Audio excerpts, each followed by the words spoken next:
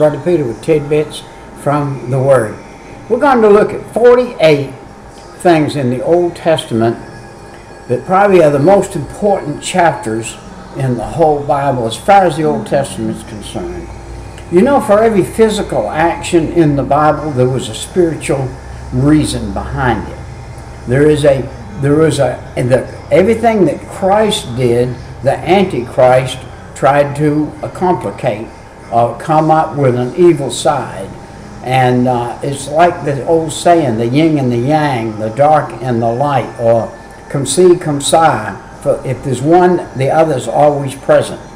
And that's a fact. No matter where you go, what you do, if there's light, there's usually darkness present around it. If there's darkness, usually you can flick a light on and change that darkness, and the darkness will flee. So we're looking for the light of these 48 chapters in the Old Testament. There are 929 chapters. Uh, the following 48 chapters are the ones that we're going to select and dig out for the historical, the prophetical, and the theological, the practical and scientific, and then get the spiritual side of each one of these. We may not have time in this excerpt to do the spiritual side. And if we don't, we'll leave it alone until another time. But the first thing we have in Genesis 1 was the creation of all things. God spoke into existence all things. And that was it. And then we had the fall of man. So we had, we had this perfect world with a perfect man. And then the fall of man in chapter 3. In chapter 6, we had the universal flood. And this is in Genesis.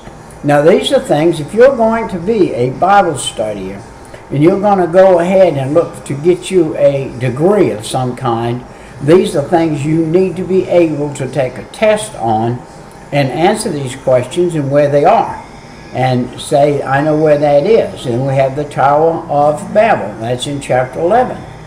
So here we are. We went from one creation. Now we're going to a, a, a great rebellion against God and against mankind at the Tower of Babel. And then we had the call of Abraham. Now that's in a spiritual. This was a spiritual action. We saw that worldly action at the Tower of Babel, but then we see the call of Abraham. Nobody had to teach those guys in Abraham's young childhood, his father, and those guys to worship evil evil things, and they did. So Abraham is going to be called out to be separated. And then in chapter 15 tells us the conditions and the way that God was going to make a covenant with this man Abraham, and he's going to be called the Abrahamic covenant. Now the Abrahamic covenant is where Israel comes in a little later on. And he is going to be the first Israelite to go up and offer sacrifice and that's going to be a system that's brought in place. Let's look in Leviticus, the anointing of Aaron as the Israel's first high priest. Now, uh, some a good bit of time passed from Abraham's call to Aaron, and then we see in 20, uh, chapter eight. Uh, uh, excuse me, I should I skipped the call of Moses. I chipped Exodus, excuse me, chapter 3. Exodus was the call of Moses. And then in Exodus we had the Passover. Now the Passover is probably one of the most important things that you'll ever read in the Bible. this is where, when, when you remember, when um, the uh, children of Israel were captive by the Egyptians. And Pharaoh wouldn't let them go. So there came a time when God said, I'll tell you what I'm going to do. I'm going to kill the firstborn of every child that doesn't kill a lamb and put the blood on the doorpost, on the lintel above and on the side of the doorpost. And they were to do that. And that was uh, where Moses was told them to do that. And that was called the Great Passover. And all of the children of Israel that had that blood there, which pictured the cross, that was the spiritual side of the Old Testament action. The action was there, but the spiritual side is it pictured the cross and it pictured the blood of Christ coming in the future. Now, that's one of the things you need to know if you're going to be a, Bible a perfect. Not perfect, because nobody will ever get perfect. But if you're going to get as good as you can in the Bible, you need to learn the best you can and the best way you can to know. And then we had the Red Sea crossing in chapter 14. We see another big spiritual act. And before God acts spiritually with these people, he acts physically with them. Physically, he had told them to borrow all the gold and all the jewelry and all of the things that they could borrow from the Egyptian people. And then they had been slaves. They weren't stealing anything. They were owed what they borrowed. And they got all that gold and silver and all that stuff in the pots and pans and everything they needed in the clothes and the cloth and the and the animals. And beside that, the Egyptians wanted them to take their animals in a big sense of the word. Egyptians didn't tend animals. To them, it was a curse. So here they left, uh, they're leaving Egypt and they come up to the Red Sea, this great barrier. And there they, they quibble with Moses. And they say, Oh, Moses, you have brought us down here just to get killed. The Egyptians are coming, and here's the sea on this side, Egyptians on that side, and they're just going to kill all of us.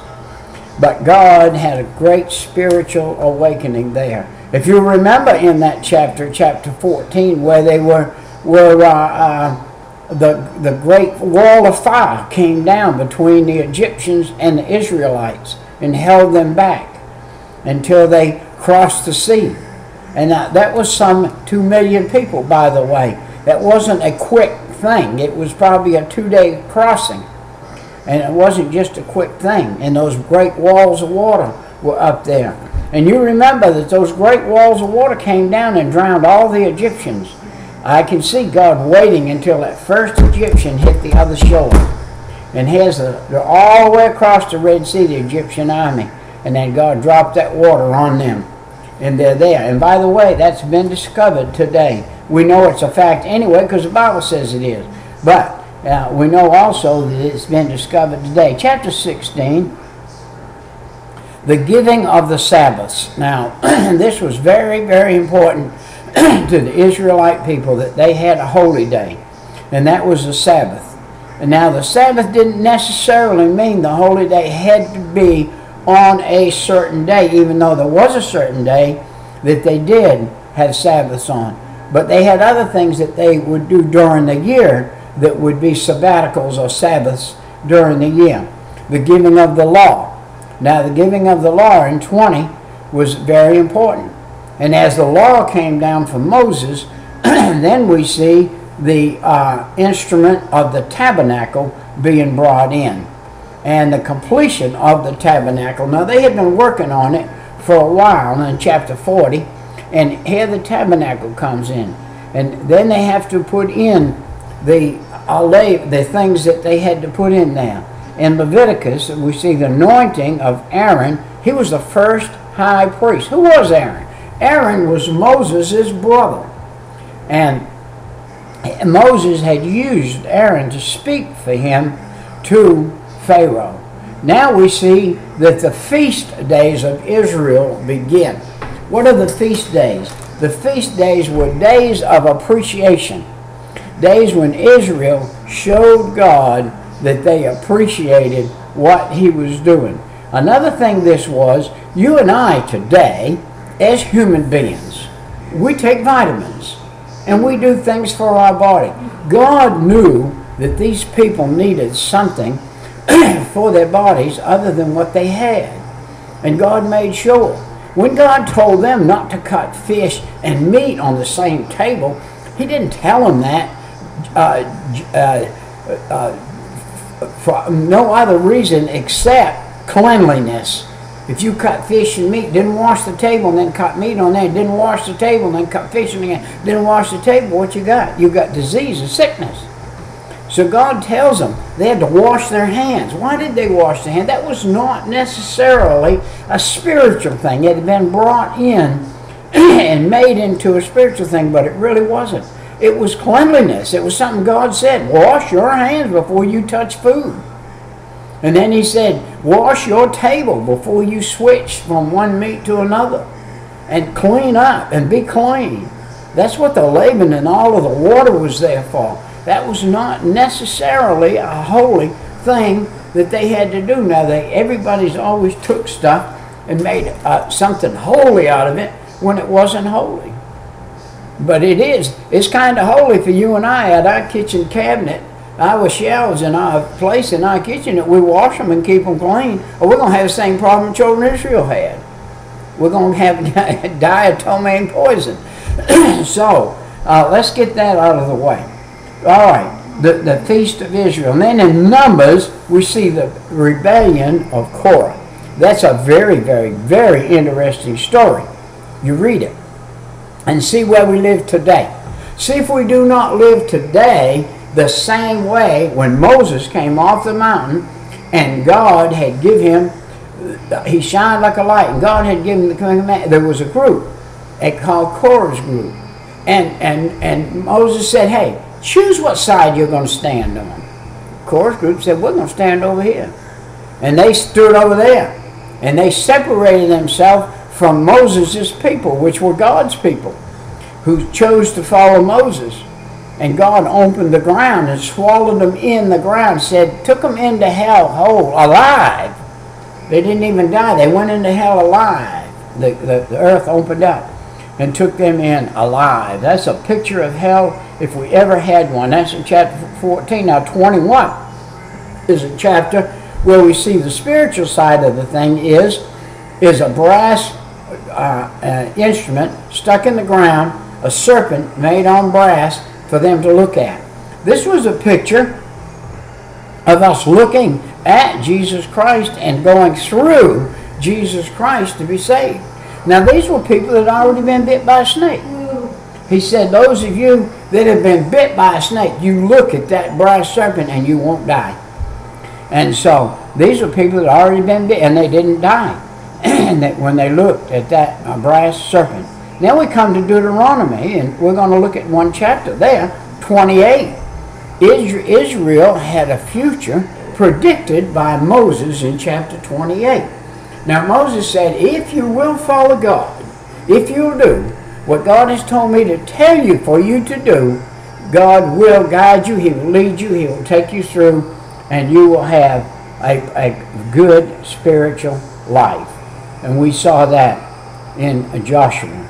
Uh, they're going into the promised land in Joshua. In, in, uh, in the book of Joshua, now they're entering the promised land. You remember when they first got there, they sent 12 spies in. And do you know that out of those 12, 10 come back with an adverse reaction? And you know that's about like the church today. You can line 12 people up and say, we've got this spiritual thing that's got to be done. It has got to be done. And you're going to have to sacrifice all of this of your life and this of your life and this of your life. And we'll just put a, a timeline in here for one month. You're not going to be able to go to work for one month. Wow. Everybody would have an adverse reaction to that. Would there be two people that would say, I will do that and I will depend on God to give me a better job when I get fired, if I get fired. And I'll do that. For four weeks, I will go and do this thing for four weeks. It's going to take four weeks. That'd be like a four-week mission trip from uh, the, the United States to Africa. It's going to take you four weeks to go do that trip and come back. Can you find two men out of 12 that would do that? Would leave everything behind for that month and go. You, that's like them sending those 12 spies over there. There were two. Joshua and Caleb came back.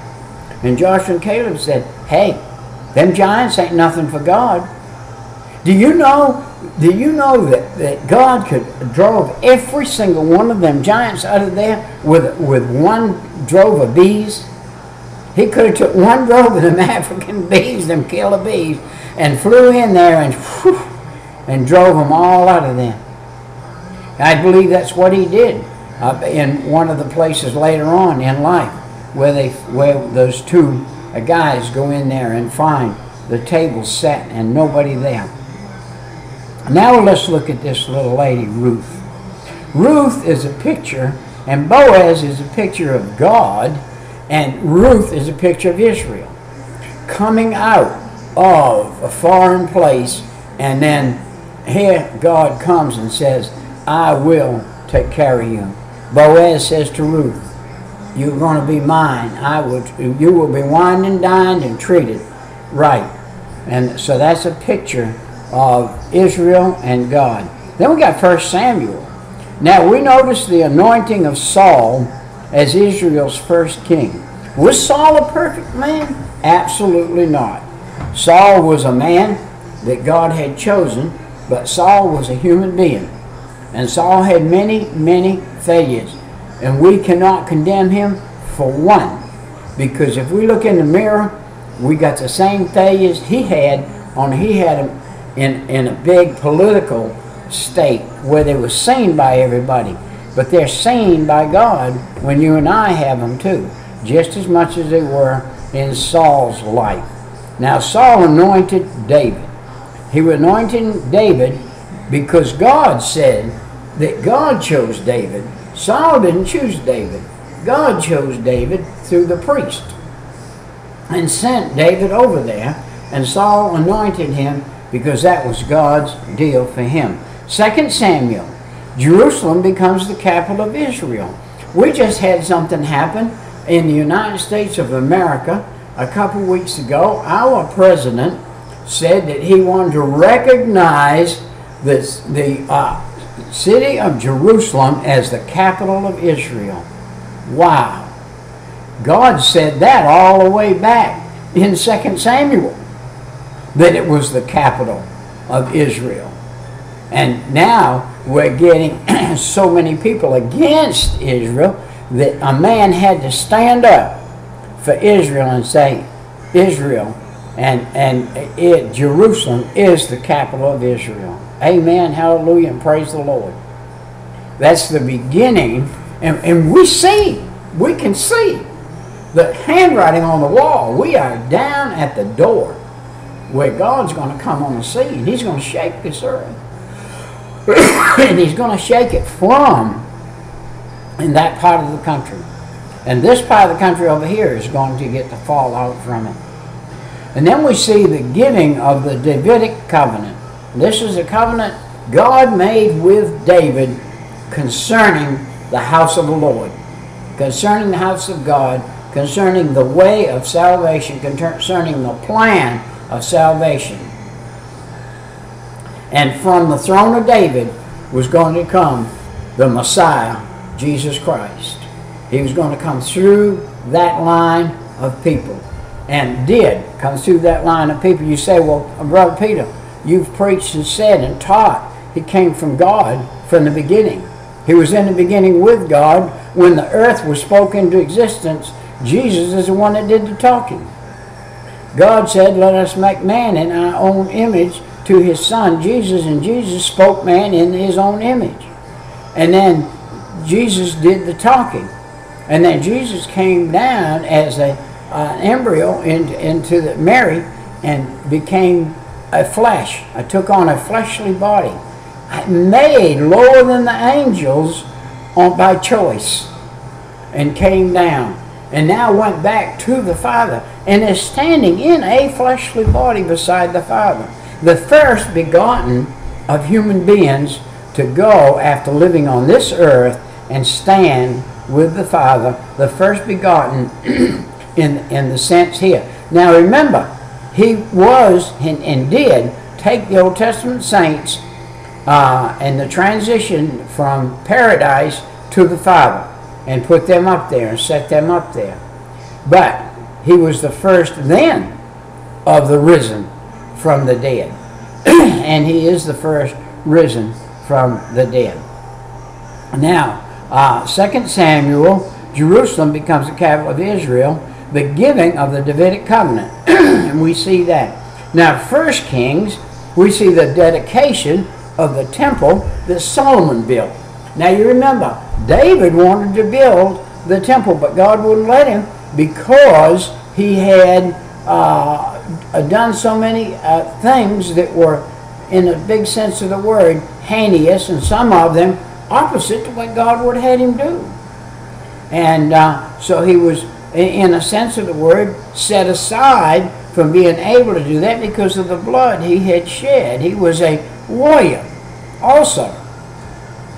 So uh, the, the temple had to be built by his son Solomon. So we see that coming up.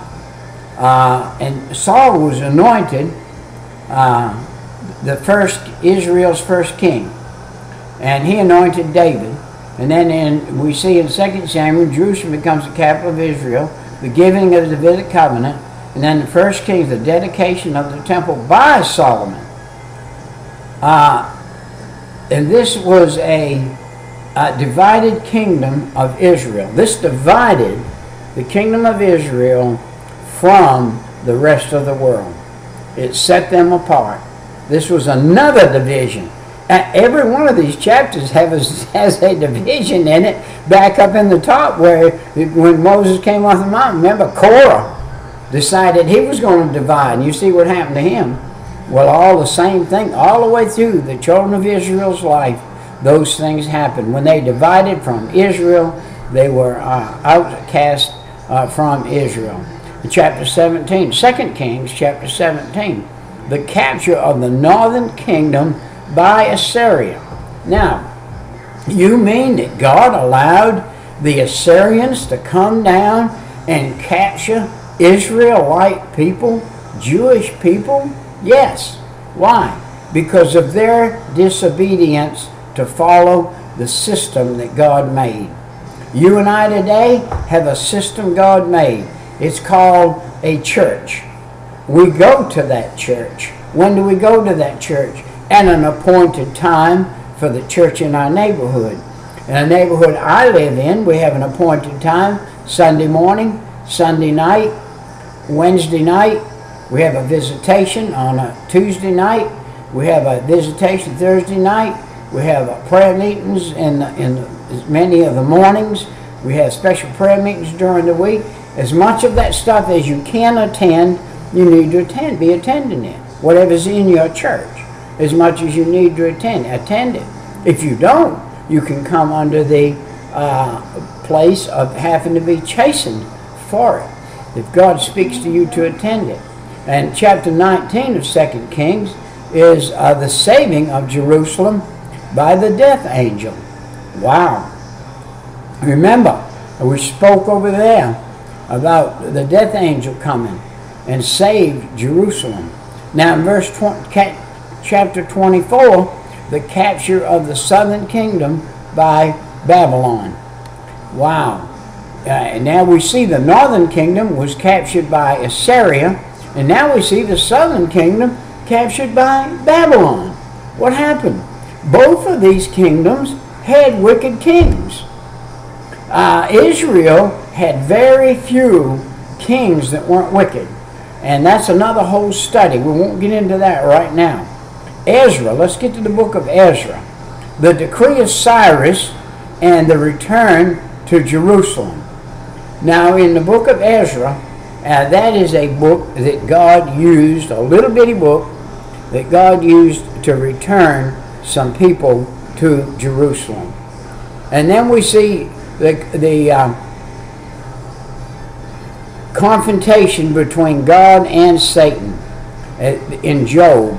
Uh, also in Job 2, we see that actually that Satan had a, a conversation with God, had a discussion, said to God, God said to Satan, Have you considered my servant Job?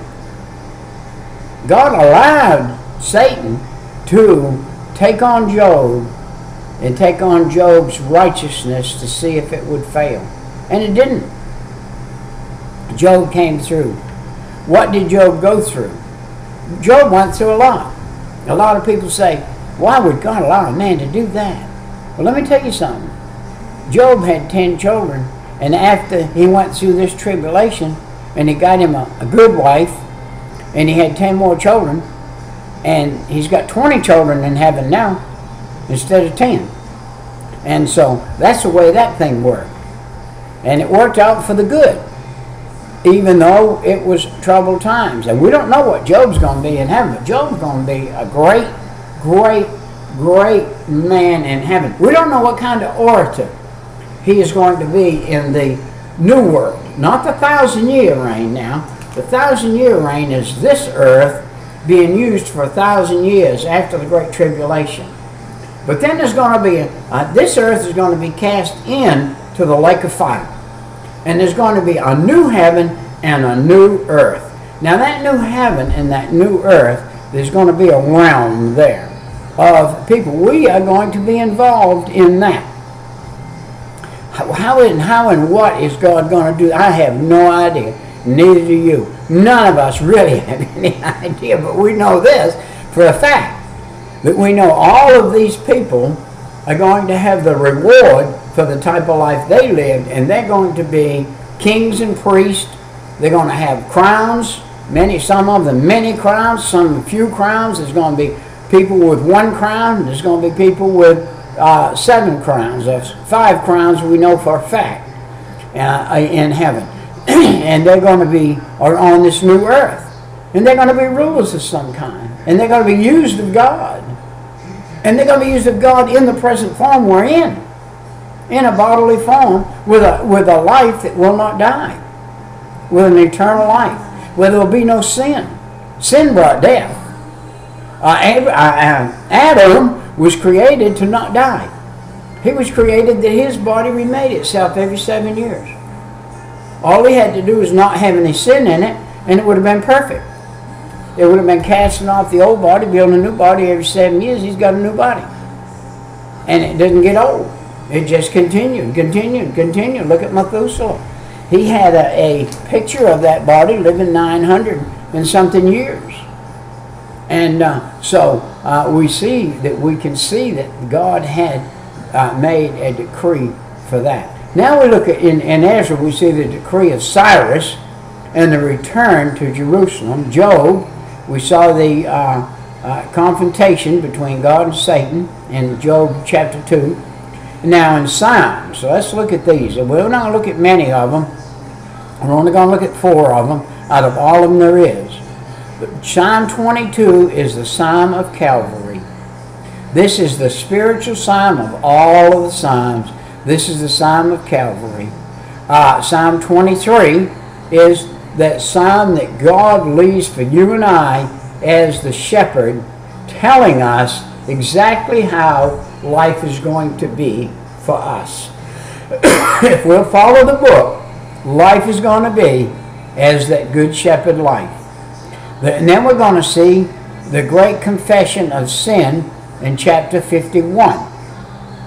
And that's a chapter 51, the great confession of sin. That's one you and I have had to go through. We had to go through the confession of sin to get where God could use us. And after that, then we, we see the psalm of the Word of God, Psalm 1, 119. 119 takes you through the Bible. Psalm 119 gives you the breakdown that I'm giving you right now, gives you the breakdown of the whole Bible from beginning to end. 119. And then we, we come to Isaiah. Now, Isaiah's prophecy tells us of the virgin birth. God gave Isaiah something that he didn't give everybody else. He gave him something special. Now, Isaiah was a bald-headed man, we understand. How do we understand it? By what the Bible says. That wasn't very well liked by most people, and he surely wasn't liked by young people. And he had some incidences in there. As you study Isaiah, you will see in his prophecy. In chapter 14, we see the uh, speaking of the fall of Satan, where Satan is going to end up, where he's going to be bound and cast in forever and ever. Well, originally he's going to be in hell until the until the end of the thousand year reign after the millennium, and then he's going to go on. And we see uh, the millennium reign, and then we see in Psalm 53 the whole picture of the cross, the suffering of Jesus Christ. In Psalm 53 is the telling of, I mean, Isaiah 53 is the telling of the whole picture of the cross. Who's going to put him on the cross? where they're going to put him on the cross, how they're going to put him on the cross, why they're going to put him on the cross, why he's going to go to the cross. And all of that is given to us all the way back a couple thousand years before it happens. Uh, 700, 800 years maybe before it happens, somewhere in that line. Uh, so we see Jeremiah, we see that promise of the new covenant to Israel in Jeremiah 31. That new covenant Israel. Ezekiel is a departure of the glory cloud from Israel. Now remember, for a couple hundred years here, God has had a cloud over Israel. He put it over them when they got in the desert, over them when they got in the Sinai desert. He put that cloud over them by day so that they would not burn up in the sun. I've been over there. The sun over there will burn you up. You have to get out of it sometime during the day and siesta or do something, but you can't stay in it constantly. It will kill you. So, God put the cloud over Israel, and then he removed that cloud in chapter 10 of Ezekiel. and he also had a pillar of fire that went at night to keep them warm. Now you can see if you've been 140 degrees during the day, and it goes down to 40 or 42 degrees at night, that's like going into a freezer, and you would freeze to death. So you had to have, what did you have for firewood? What did you have to burn over there in the desert? There's no trees in the desert. They had fire burning continually. Continually, continually, continually, they had fire burning. They had to use all of their waste for fire. They had to use a dry uh, animal dung. They had to use uh, the human dung. They had to use uh, the old hides that were taken from animals that were sacrificed and and, and burn them out there and dry them out there and do things so they could use them for fire. They had to have fire burning all the time. It took fire burning to cook the food. It took fire burning to keep the altar going. It, it took a huge group of priest helpers of the Levitical tribe to gather up what they could gather up that would burn to keep the fires burning day and night for 24 hours a day for a couple hundred years. Now, let's look at, at Ezekiel. Uh, the way we do, that's where we are. Then we see the dry bone vision. That's the restoration of Israel. That's God showing a picture of Israel coming back together one day. All those bones of all those saved people are going to come out of the ground at the rapture and go on to heaven. We see the future of the Russian invasion into Palestine, and we see also that in Ezekiel chapter 39. We see in chapter 40 of Ezekiel, we see there is going to be a temple in the millennium reign. There's going to be a temple. In the thousand year reign, there's going to be a temple. You say, well, Jesus came now, we don't need it. We're not going to be the ones to do it. It's going to be that group that's on the earth from that day that come out of that great tribulation. There's going to be a group. There's going to be 144,000 Jewish boys that have never known a woman, and they're going to be virgins, and they're going to come out of Israel, and they're going to come in to the millennial reign. Now, how is all that going to work? I do not know, but God does, and that's all that's important. and that they're going to be the ones that have that millennial temple. Then we come to the book of Daniel the dream of the future Gentile world powers, Daniel chapter 7. The vision of the 70 weeks. We are in that great vision right now. We are down to the toes that are made with iron and clay. Iron and clay. That's the world system, is the clay, and the iron is the uh, a part of the the thing that is going to stand, but it's all got to crumble when you mix the clay with it. And then we know that when we came to the book of Jonah, that we saw the great fish. And we know that Jesus was in the height of the earth for three days and three nights as Jonah was in the belly of the whale.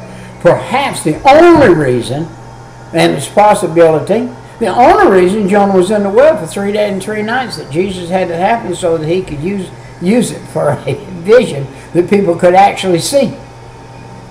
We- We're so dumbfounded uh, people are, and they say, "How could a man be three days and three nights neither and come back?" Well, Jonah was.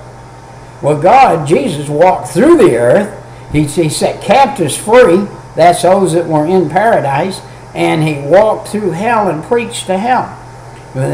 We saw that great fish. Now, Zechariah, the last book, the second coming of Christ talking about the second coming of Christ in the book of Zechariah. And you and I live and we we practice the Bible today from the first coming of Christ. We look back into the Old Testament as the prophecy and the forerunning of Christ. We see the battle from Genesis 1 1 with the devil all the way to Revelations and uh, 22 and uh, 21 and 22. And so we see that battle going on, and it's going to end there. Well, this has been a good day because it's been a godly day. If it hadn't been a godly day, it wouldn't have been a good day. So if you want a good day, you make it a godly day tomorrow. And, and every day from now on, you make it a godly day, and you'll have a good day in spite of the circumstances. We'll see you next time, Brother Peter, with tidbits from the Word.